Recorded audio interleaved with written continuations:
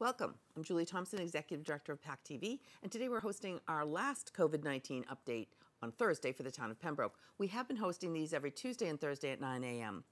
Watch in Pembroke on Comcast Channel 15 or online on our streaming channel, pactv.org slash live. To ask questions during this forum, please email them to pembrokeinfo at pactv.org. For replay schedules of this and all the forums, please visit pactv.org slash pembroke. Sabrina Chilcott, Pembroke's Assistant Town Manager, will moderate the forum and will introduce the participants that are contributing today. Welcome, Sabrina. Good morning, Julie. How are you? Good, thank you. Um, as you can see, we're getting phone calls and we're back in the office. So I wanted to do a few quick updates. Um, the town manager announced to the Board of Selectmen a few things last night.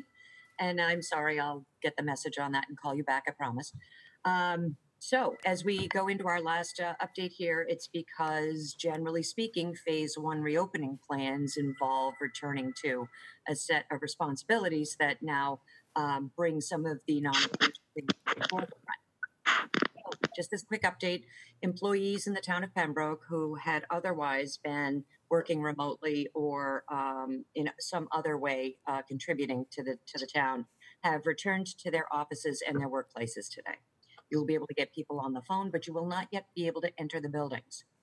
Uh, we, the Board of Selectmen was updated last night by the town manager that Pembroke Town Hall will reopen on Monday, June 1st at 8:30 a.m. There are significant new protocols in place, and the signs will be posted around the building regarding the wearing of facial coverings and the requirement to socially distance. The town has installed some plexiglass shields at the common um, points of service for the public. Uh, employees will be wearing facial coverings when working with the public and when they are unable to socially distance in some common area of the building or in their own offices.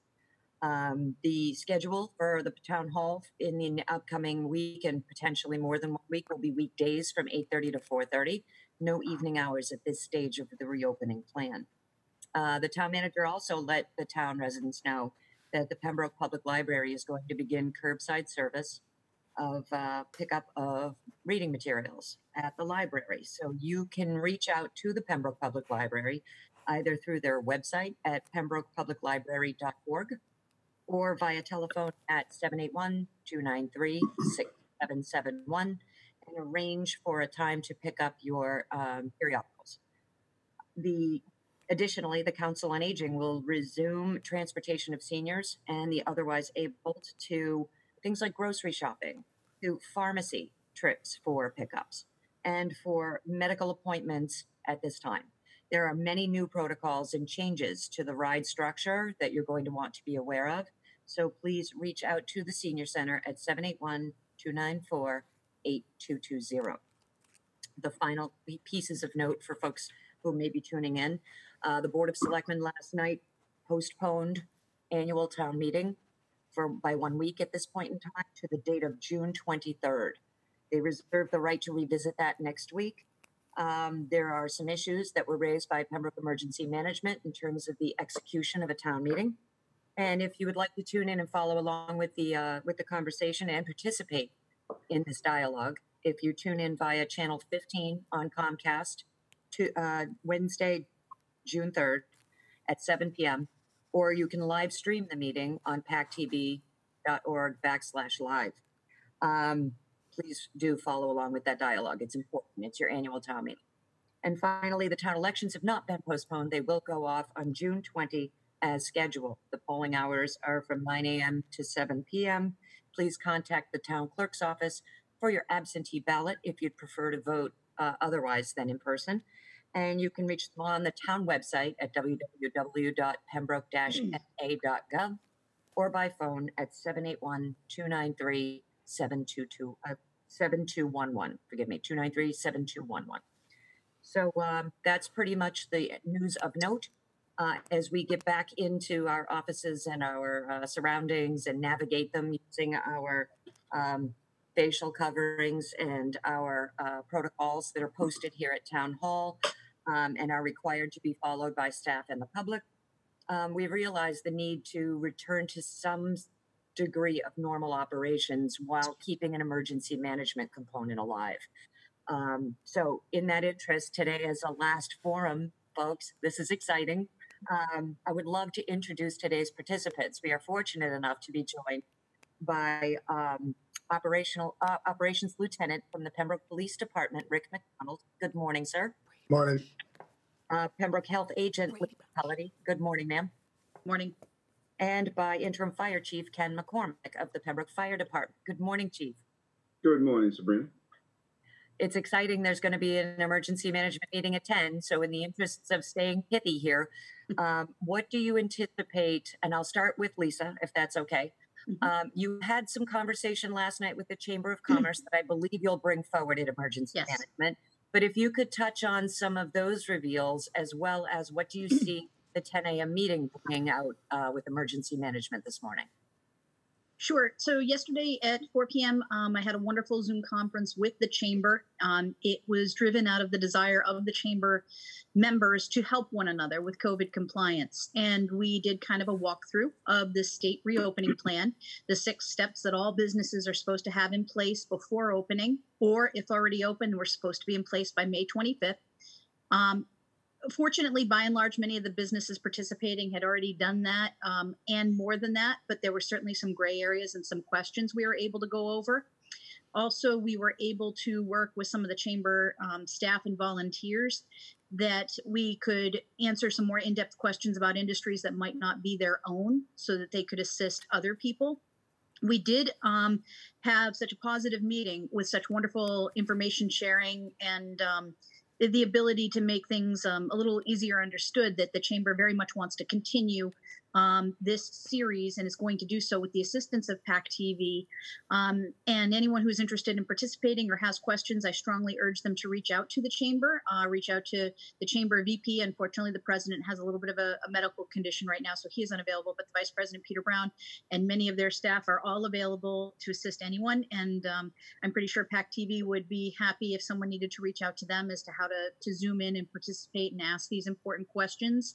Um, continuing to focus on reopening, reopening compliance, um, what to do if you have an area of non-compliance, how, how might you correct that? And of course, moving forward, as phase two begins to roll out, that's going to start to include some more challenging industries to get back online such as food service industry and things like that.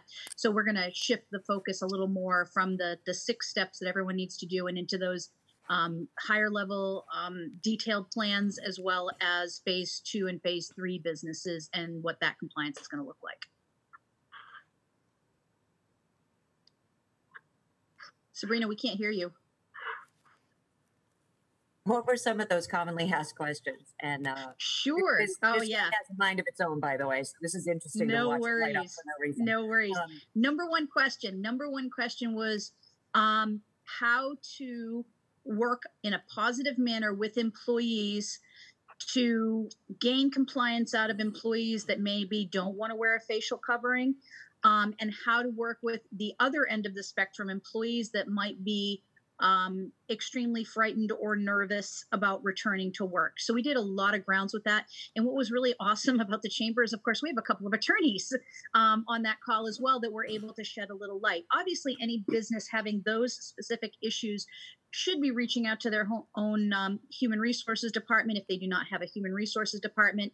Certainly, they should have some sort of workers' compensation or insurance agency that they maybe work with that could help um, answer some of those questions, you know, fill in those gray areas. But the number one consensus on that topic of the meeting yesterday was follow all the six steps. Document document document. All those six steps that you've done have your signage and everything else in place and make sure the employees as is required in the plan are aware of the policy. And and every attorney and everyone in the human resources world that was on that call yesterday all agreed those are the key steps to eliminating any any potential employee issues. Is it going to be perfect? No is it going to be one size fits all? No. Um, and and many employers had already acknowledged you know that while they were bringing back you know the lion's share or the majority of their staff there were some very individual specific staffing issues that they addressed on a one by one basis.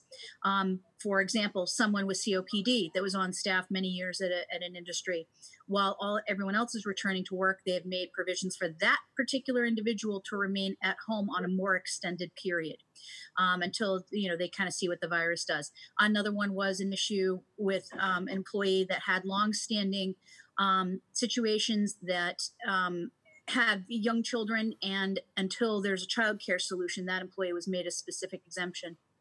Um, and there were questions surrounding childcare um, and, and bringing that back online. Um, and that that's something the state is addressing and, and supposedly is being addressed this week and will be in place before phase two. So those were the number one questions. Thank you very much. All right, so now that you're starting to see uh, calls increase, walk, you know, not necessarily walk-ins yet, but uh, there's an anticipation as facilities open that there may be a need for uh, guidelines to be established on things like occupancy. Absolutely. that there's a thought that we are going to unlock the doors and people will walk in very orderly, follow the directions as laid out on the floor, wear their facial covering, conduct their business, and just leave.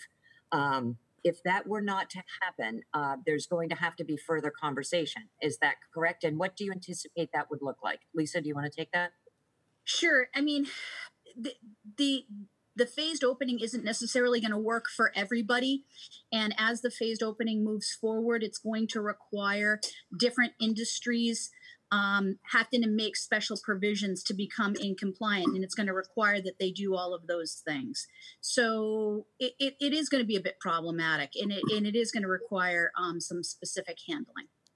Okay. I mean, is the recommendation at this point to appoint a point person who's I would. If I was a small business owner, of course, if you don't have a human resources person, you should have someone that you can appoint, affix, or, or whatever to take on that roles and responsibilities. And the attorneys did allude to that um, in the call the other day.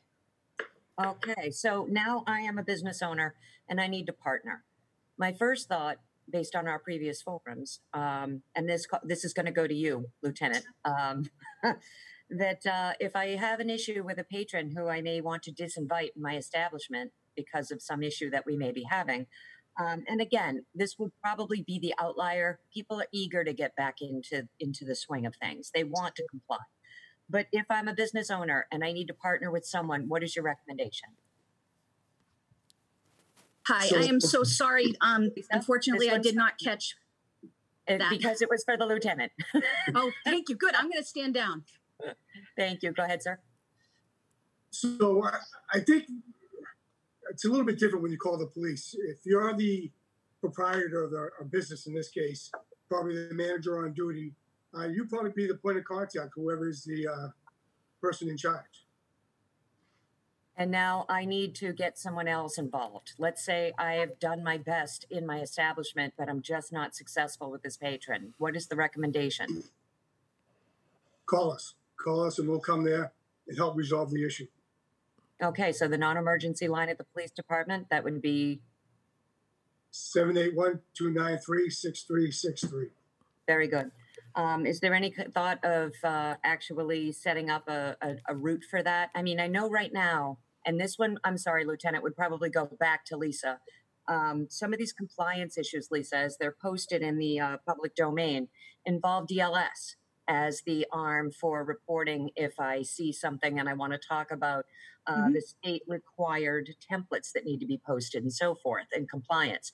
Can you talk a little bit about that?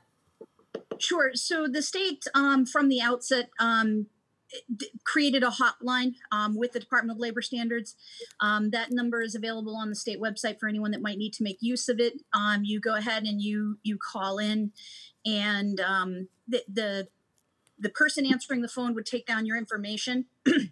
what is the violation? What business? What community is that in? And then they would dispatch that complaint um, to the Board of Health in that community for enforcement action. Um, this the state's mandated phased um, uh, so resolution, if we want to call it res- resolution plan, is first of all to have a um, on-site visit that uh, is an educational in format.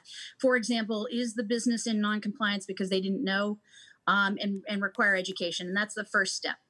Um, if the, the violation remains on a second visit is a $300 fine. On the third visit is an additional fine.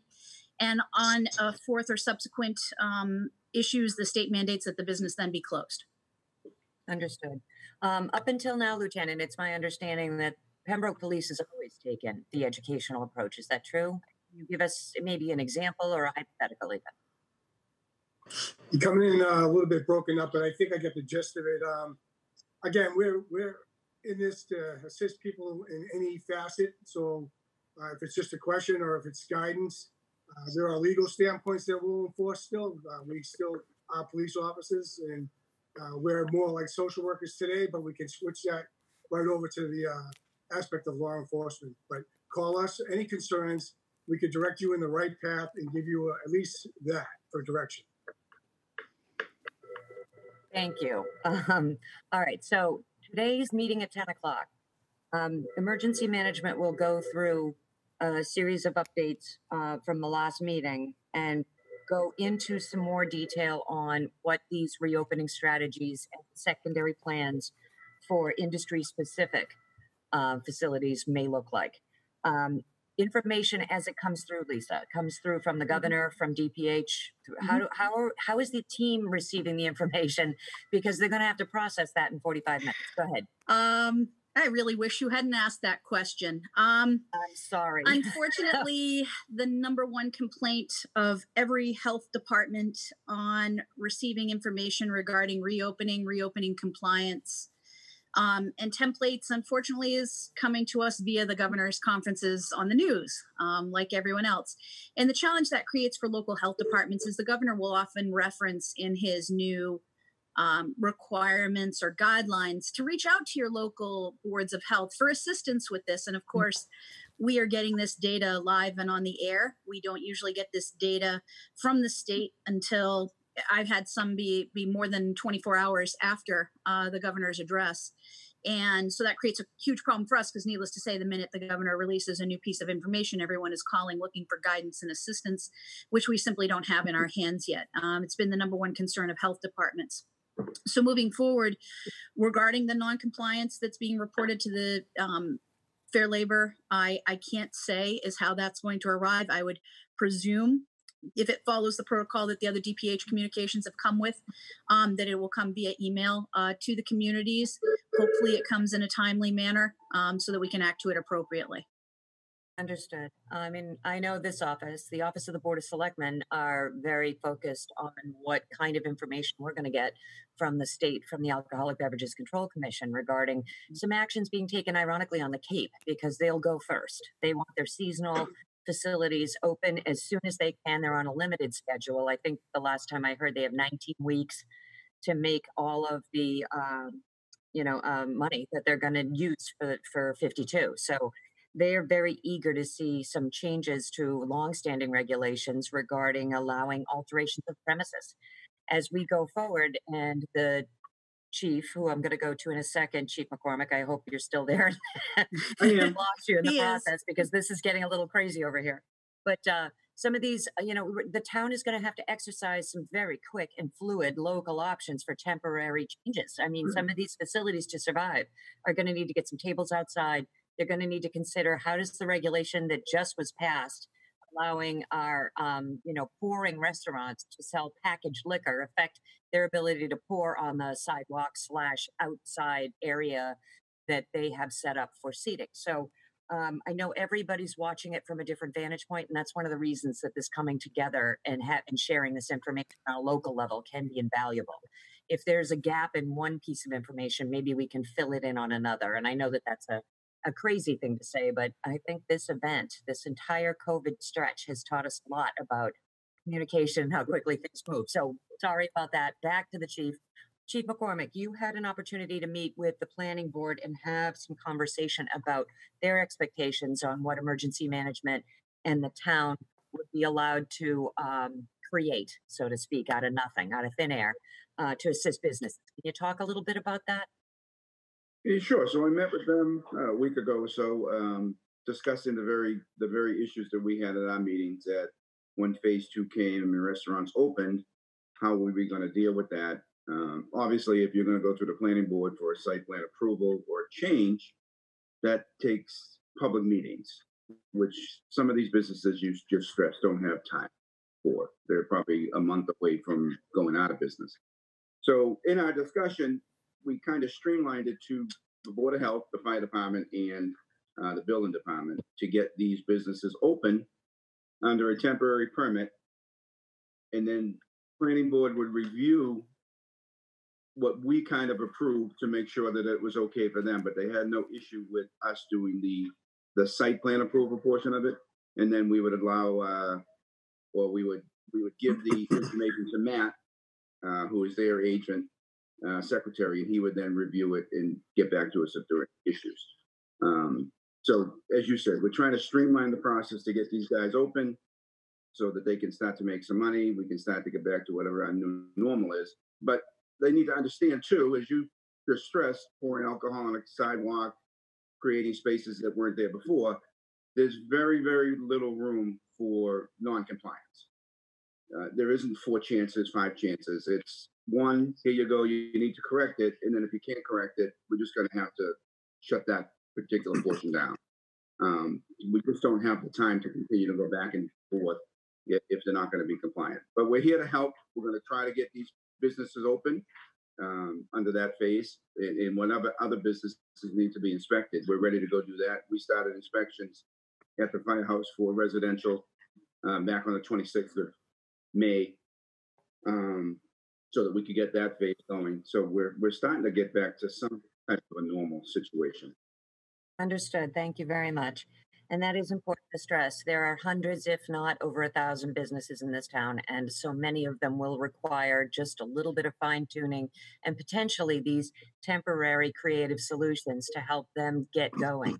So everybody really has to be patient and they have to cooperate to the best of their ability to do that. Um, and I really thank you for pointing that out because that's important to remember. Which, which I which I don't think would be an issue because everybody so far has been spectacular. Um, so I, I think they're going to do what they have to do to open and, and get ready uh, to, to get to the new norm. Um, but we just need to put that out there that these are temporary permits uh, that need to be adhered to because uh, myself, the police department, and of course Lisa, just we don't have the time or the manpower to go out and continuously, you know, reinspect or or guide them in the right direction. It's a it's a one or a two time thing, and then that's got to be the end of it. No, that's perfect. Thank you, sir. Um, I wanted to throw back to Julie in the studio and find out if we have any questions coming in. I know it's the last day, and I hope that that's not going to be a, a shock to anyone, but uh, we do have, as uh, Ken and Lisa and Rick have alluded to, an awful lot right here going on, and it's going to become a little bit more challenging when we start unlocking things. So, Julie, are there any questions that have come in at this point? There's a couple. Um, one is for um, Deputy Chief a fire chief about um, the water situation and how that um, is handled with um, potential fires and you know pressure, water pressure, etc. So uh, we were in contact last week with uh, Gene, the water superintendent, um, due to the hydrant issue and the water supply, the pump, the well pumps that we had that were down. Uh, we formulated a plan um, as as the acting chief, I went through and got a tanker task force that would come to the town of Pembroke. I had uh, Indian Head Pool in Hanson set up to deliver 18,000 gallons of water eh, on a phone call. We put that plan into place Friday afternoon uh, after I left and went home, hoping never to use it. And unfortunately, uh, we had a we had a house fire at nine o'clock that night, uh, which put that plan into place perfectly. Uh, it worked absolutely spectacular the town of Plymouth and Carver both came uh, with their tanker task force, uh, worked that out tremendously. We called Indian Head Pool; they were ready to come. We ended up not needing them because the guys here made a quick, fast attack and were able to knock the fire down, uh, getting everybody out of the house safely, uh, no injuries. Um, so some of the best well played plans uh, that go into action that you put into place. Sometimes you have to use, sometimes you don't. Uh, speaking with Gene, the water situation is getting better every day. Uh, we're hoping to, by Monday of next week, uh, be back up and running to full force. And every day we're getting stronger and stronger, where uh, hydrants will, will be able to be used adequately, uh, probably within the next three or four days in the near future. Uh, so, but we do have a plan in place. There is no safety issue with water uh, for fire protection. Um, we just, we, you know, we just need to kind of let Jim do his thing and get those get those wells fixed and back up online. Excellent. Thank you. Um, there was a question about um, the elections and town meeting. Um, the elections are still going to be held on 620, and town meeting has now been um, put off till 623. Is that correct? That's one week more than it was going to be Tuesday night, 623. The question is, um, what about the what about the amount of people that can gather in one place? Are we are we not following that? Basically, is what the viewer is asking. Well, I mean, I know this will go immediately to Lisa and not Pasco, but I wanted to start by saying that uh, watching the selectmen really um, listen and work with emergency management and the town moderator and the town clerk last night was really um, something to appreciate. I did appreciate all of the hard work that went into that dialogue because, to your point, Julian, to the, the questioner's point, uh, that will continue to be a struggle. And the town has financial needs. There are certain economic deadlines um, some of them have been extended, but some of them have other implications for the town, and that has to be balanced with the ability of the town to, as we turn to Lisa, execute a town meeting with a. We know what we have to have, but we don't know what we could get. Um, so, Lisa, would you love to take that? Take this one now. That would be great. It is the struggle in, in, it- in that in graduation are the number one struggles for every community uh, in massachusetts that has come up time and time again on the state conference calls um, and it, it is the greatest challenge that every community is having every community is having an enormous issue with how to not honor their graduates um, appropriately and everything else with everything else they've lost this year. And and that's a real hardship emotionally for a lot of communities. And then the other part is is town meeting because many communities don't have the ability to push everything. For example as ms chilcott alluded to the fact that there are some items that have been and deadlines that have been extended by the state. But for example a town like ours that has a capital improvement project that cannot wait um, that cannot move forward without a, a, an affirmative town meeting vote is a challenge that it really can't be gotten around. So to directly to the to the caller's point, yes, putting that number of people inside of a structure is an issue. Um, the governor and the governor's office is aware that some communities have done this and may have to do this. I know that this community is even looking at out, an outside gathering, which would not be in non-compliance with the governor's order. Um, if if the town moves forward inside, it will be with the social distancing. The selectmen heard very clearly and understood the need for that. But the problem is, is how do we do the mandatory business of, of running a community um, that is run by town meeting without having a town meeting? Um, the the 112th budget will handle the routine protocols, but again, the the necessary and deadline capital improvement projects um, would not be able to move forward, and that's going to to have serious ramifications for the town. As a matter of fact, just as a follow up to Lisa, sorry to jump in, some people may not be aware that some of the articles being brought forward are technically they're they're financial, but not because of a budget situation. The governor has made an allowance for a one a one twelve provisional budget for FY twenty one, but to close twenty, there are in fact water treatment plant uh, requirement. We have to appropriate some additional money to finish the water treatment plant upgrade. Um, that has not yet been allowed by the DOR to, to have a lower board of selectmen vote to execute. Um, and additionally, we're waiting for legislation from uh, the governor to allow for a local adoption of the FEMA flood maps. The, flo- the National Health uh, Flood Insurance Program that every resident of Pembroke enjoys, and all of our surrounding towns as well, is is predicated on this new set of maps from FEMA being adopted by this town before July 23rd, 22nd, rather.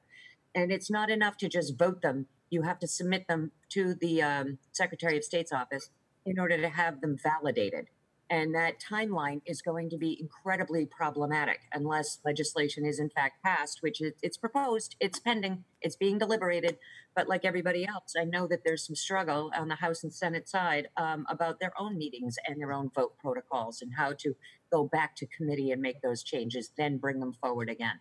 I mean, what people have been able to get done is remarkable. But there are, as we've seen in so many aspects, more things that need to get done in order for everyone to stand out. Um, so a town meeting is going to be important for Pembroke. Um, and uh, it's not all matters financial re- relating to the budget. Sorry to throw that out there, Julie. No, that's okay. It's it's really it's quite confusing, and all of our, our four towns are absolutely struggling with this. It's it's it's it's very difficult for the the people that are working in our towns that are trying to keep our towns going um, to weigh that against the people that are concerned about the spread of the virus. And both sides have absolutely legitimate points, and it's it's it's not an, it's it's not black and white by any by any, stretch of the imagination. Another question was about um, the 112th budget. Some someone said, "What actually is that?" And what if the federal government ends up giving monies to towns that we could use in the future if we already have voted on? I think what they're saying is if we have town meeting and we vote, and then we get money that we didn't know we were going to have, how does that play into the budget and capital expense and all that? I'm glad you asked because uh, the new town manager, Bill Chenard, last night did uh, reference this in his budget presentation to the selectmen he presented a revised FY21, and that's fiscal year 21. Uh, that would begin July 1st and end June 30th of, of 2022. Um, he presented a set of numbers to go into the fiscal cycle because we only know what we know today. We do not know what could happen tomorrow, next month. We don't know what revenue changes will happen with things like meals tax which may sound small, but is $300,000 a year. That's multiple teachers, firefighters, police officers. It could have dramatic impact. So we do the best, and by we, I mean the finance team in town, certainly not me. Hallelujah. But um, they do the best they can with the information they have. The they time. take a look at where we're trending. They analyze that. They take a look at where tomorrow's trend is going. They analyze that. They refine those numbers. They bring them forward. And Bill brought up the caveat, the thing that you're referencing now. We are going to have another town meeting. We're probably going to have multiple town meetings. So, mm-hmm. articles that were proposed back when the warrant was open in January and February are still there. They're just not coming forward on the essential warrant, which is this first town meeting out of the gate, right? You're trying to figure out how to safely execute a gathering. You want to bring only the most important things you must get done to the forefront on that shot. But there will be multiple town meetings, whether it's the, and originally the timeline looked like it could be August, September, and then another one October, November.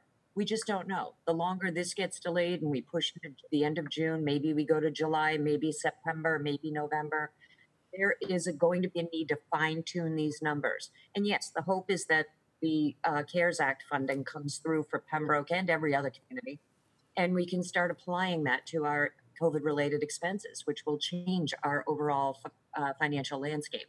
And that will require some tweaking at a future town meeting. There will be adjustments as we go.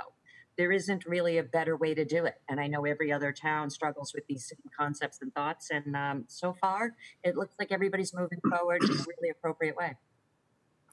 Thank you. Anybody else want to comment on that? Budget concerns, anyone? Okay, no, that's fine. That's fine. Um, so, Sabrina, for the people of town, we, we usually have a um, town meeting, um, kind of an update we used to have with the town manager where we'd go through the, the different articles. He'd come here to PAC TV. We'd just go through the article and he'd explain what they are. Um, how can people get um, the, the bare essential articles that need to be voted on, as you're saying right away? How can people get information on that? And, and if you vote this way, this happens. If you vote this way, this happens. The way we've been doing for years and years. Well, I'm sure that that is still a possibility. I mean, that's one of the things that uh, I know that the new town manager has found himself moving very quickly, um, perhaps more quickly than under normal circumstances as he transitions into a new role. Um, but Pembroke's been really good. He seems to be amazingly um, competent and strong, and he's been uh, connecting with all the right people.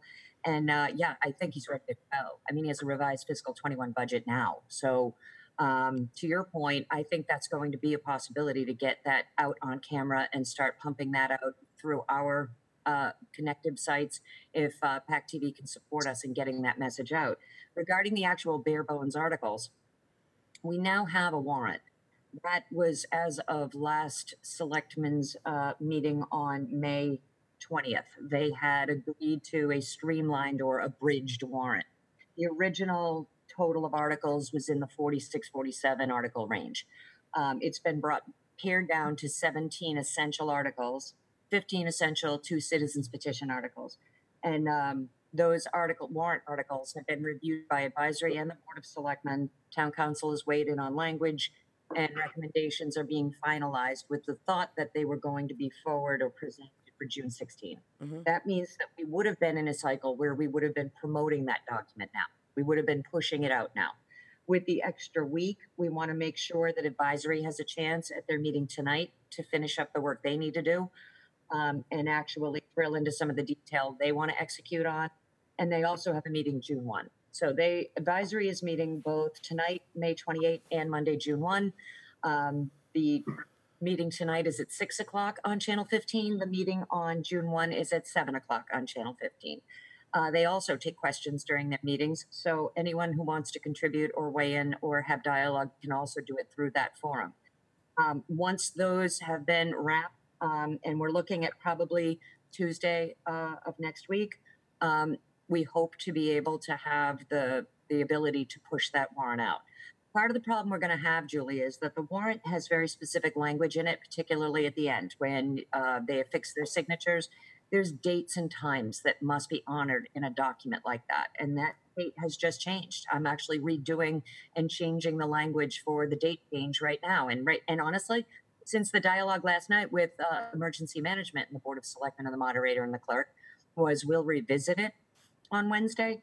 Um, I'm not even certain at this point that June 23rd is etched in stone, but I do know that the, the, the preference is to complete some of this work before the end of June. Mm. Um, so, to your point, we'll push those as soon as they're capable of being pushed out, and hopefully, we can get a show with the town manager to go over those articles. Yeah, Thank because because I think, as we've always said every year, is come to town meeting armed with information. That is not the the place to to learn about something for the first time. So I think the more educated we can make um, all of our residents. And, and I'm a Pembroke resident, full disclosure. Um, the Of more course. we can do to make sure people really understand the ramifications of these are the 10 or 12 or 15 articles that we have to vote on. This is all the information you need to know. Ask your questions beforehand. Um, get your information beforehand if possible, so that the voting, if you do have to have a meeting, you can do it as quickly and as um, as efficiently as possible to get people in and get them out. That would be Agreed. the goal, correct? Absolutely agreed. And I know that there was a lot of conversation about this just as Bill was arriving, right, uh, Mr. New town manager. Yes. Um, we do have, to, you know, a, a need and a desire to expand on communicating prior to these meetings, uh, these town meetings, having more uh, public hearings, bringing these things out, being able to make all oh, we lost you again. We lost you. Audio's gone, Sabrina, She, she doesn't know her audio's gone. but she's very passionate about what she's, saying. she's, very saying. passionate Yeah, about what she's she's saying. good. So I, I will. I will. going on to Sabrina. Okay, so she doesn't know we can't hear her. We Oh, can't hear no. you. We couldn't hear go. the last one Yeah. minute of what you this, said. This has a mind of its own. Sorry.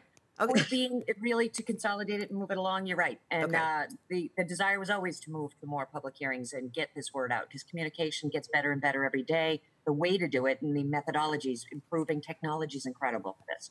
Um, the new town manager is very excited to do that. He was really coming in the door, hitting the ground running on pushing forward some of these changes, and COVID has really changed the landscape for so many people so it you know as we go forward you will see more of that julie and I'm, I'm really glad you know to hear that yes. a second town meeting for example let's say we have to go again in august or let's say it's september one way or another those will be more um, orchestrated they will be more transparent they will be more promoted um, we'll have more time um, the town manager has in fact been here for less than a month we've actually had him for this is his third week so Uh, things are going well, but uh, they aren't perfect yet. Right. Thank you. And I just want to um, bring everybody to notice the, the town website, which has been really, really updated wonderfully. I want to bring that up. Um, if you if you go to this, the new um, the red banner has so much information. If you if you just go through it about phased reopenings, about um, and if you see all these um, like the control template for businesses is right here. What do you have to do if, if you're opening a business? There, everything you need to know basically is on this website. You've done a tremendous job. Okay, guys, you can pull that down. And I assume, Sabrina, that all the updates, daily updates, will be put in the same place. So there's one place people can go.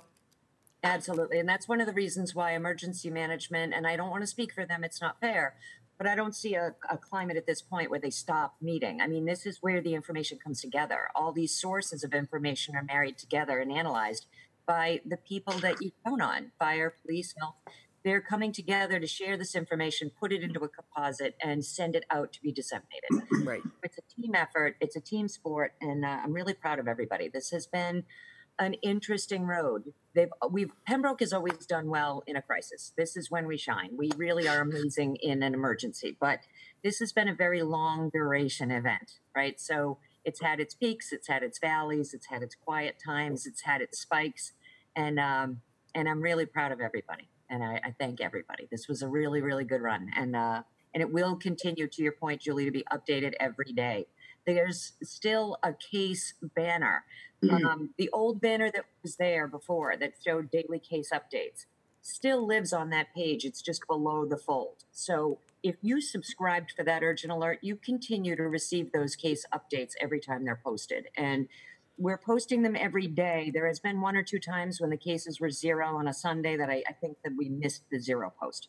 Uh, we went back and backfilled it. So those posts will always be forthcoming. If you've subscribed through the front page of the website for notifications, when those pages are updated, you will receive an immediate email with the link to the update and it will show in your either text or email screen. Okay, great. Thank you. Um, and as, as I said to you, although this is the last scheduled uh, COVID 19 forum we'll have for the town of Pembroke um, on Thursday at 9 a.m., uh, and we date stamped everyone we had. So if you ever want to go back and look at them at pactv.org slash Pembroke, you can see the progression of, of the information that has been passed and what date it was passed on. But anytime Pembroke any department needs um, a forum or a get together where we can have certain people getting together to get, push out certain information, we obviously that's what we're here for. That we we are your partner in in sharing of information. And did anybody want to go around and give a last a last hurrah or a last word of advice as we go into kind of a real new beginning for next week? I would love it if Julie, if you let us do that. That's that's going to be a really heartfelt thing. And uh, as we go through the group, uh, starting with you, Lieutenant MacDonald, um, as we you know s- slowly shut down the forums for the time being, what are you hoping Pembroke took away from this experience, and what would you like to say? Well, we uh, show that we are more resilient than people realize going through such a um, bad time and to continue to do the good things that we're doing. And I want to thank Julie for giving us the platform to inform our residents and keep them up to date, along with you, Sabrina, as the ringleader. I thank you. Thank you, sir. I appreciate that. Chief McCormick, uh, what would you like to say? You, you were wrapping up. Let's do it. Yeah. Um, again, uh, thank you, Julie and, and PAC TV. Thank you, Sabrina. Um, hopefully, the uh, residents got something out of the seven, eight, nine weeks we've been doing this, whatever it's been. Um, you know, we were able to inform them and give them uh, some, you know, guidance and where to go and, and how to do certain things. Uh, and and thank you to the team. I said everything's been been pretty good. Uh, the town has absolutely stepped up and done everything that's been asked of them. Uh, so hopefully we can transition to a nice smooth opening and, and a, the new norm uh, and, and get back to uh, get back to the people's business. Lisa, hit it. I, I wish I could say it was it was going to be goodbye, Julie, but I know that it's just farewell for now because um, we have the whole business uh, reopening plan to work on. But but as far as the the residential portion of it, you know, a thank you to the residents for being so patient. A thank you to TAC, PAC TV for being so cooperative on getting the messages out. Um, a thank you to uh, an amazing group of individuals that I've had the privilege of working with the entire PEMA team. Um, you know, including the, the people sitting here with me now, but uh, also our, our COA director, our housing director, uh, our recreation director, people that you wouldn't normally think of in an, an event like this that have stepped above, up above and beyond to make this event easier. Um, I would not have wanted to address this situation missing any of these individuals because it would have made my job significantly harder. So thank you to them. Thank you to the residents um, for working so hard to be compliant. Thank you to the business owners that I've dealt with being so exceedingly patient as they're working so incredibly hard. Um, so the, the final word from me would be kindness goes a long way and kindness to one another, kindness to people trying to maneuver their way through these very unusual times. Um, kindness will will ser- serve us all far better than than getting angry and frustrated. So when in doubt, if you can be patient and kind, I think that'll work. Thank you, Lisa. And uh, as I say goodbye and thank you for your patience, every Pembroke resident needs to know that I and everyone here that I have spoken to or worked with throughout this entire duration of event thanks you because Pembroke residents have been amazing. Not only have they been flexible hmm. and fluid, but they've been patient and they've been calm. And to Lisa's point, they've been kind. We're on the phones, we're answering questions, we're trying to cobble together solutions for the unsolvable. We are working with everybody, and people have continuously just given us their um, kindness and their fortitude. And it really does help make the day go better and help strengthen the team as a whole. So Pembroke is in a pretty amazing place to live and a pretty amazing place to work.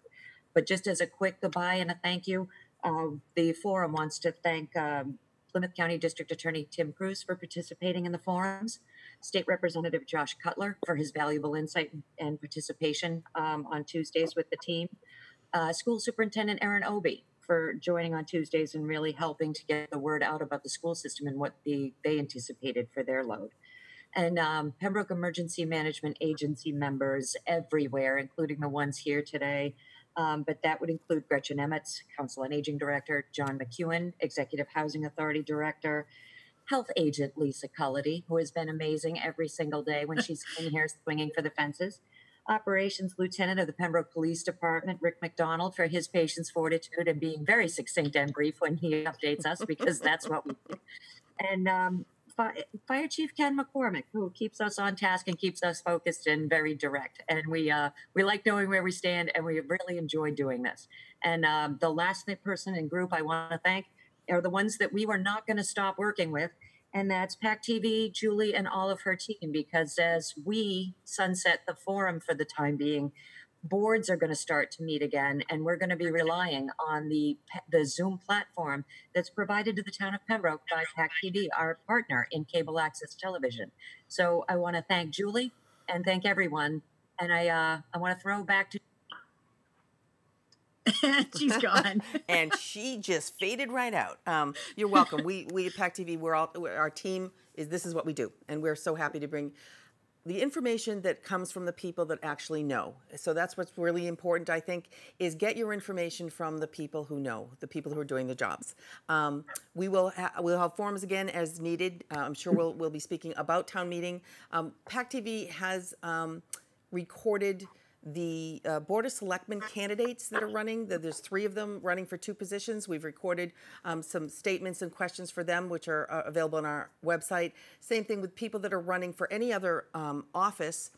We used to have everyone be able to come into PAC TV and make a three minute candidate statement for anyone who is running for office. Um, now we're having them do them remotely and send them in to us, so everyone had that opportunity. If they're running for a position where there's actually um, there's a race, if there's one person running for one seat, then they don't have to do a, a statement, but they can. All those statements can be um, viewed at pactv.org. So we thank you for joining us. Please stay safe, stay healthy. Listen to these people we have in Pembroke because they are the best. This is Julie for PAC TV signing off.